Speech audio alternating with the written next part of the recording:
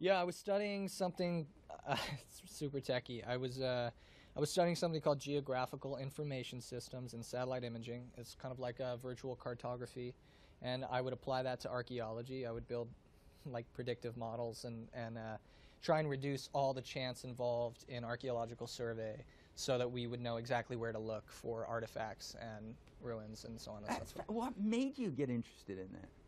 Um, it was something. My grandpa was a geologist, Okay, and so I always had this kind of fascination with not only the earth sciences but with uh, ancient history. And I ended up um, studying it in school. I did it. I I had traveled all over the world on on excavation, and then I was working in some dingy basements archaeological lab after I had graduated and before I applied to graduate school.